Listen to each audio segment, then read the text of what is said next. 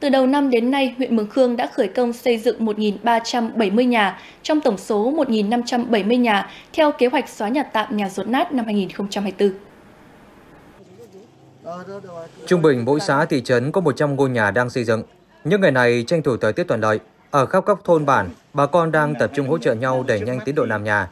Cơ bản nguồn nhân công kỹ thuật được huy động tại chỗ, nhiều đội thợ cũng đã đầu tư thiết bị để đẩy nhanh tiến độ làm nhà phong trào đổi công giúp nhau làm nhà mới được phát huy ở các địa phương.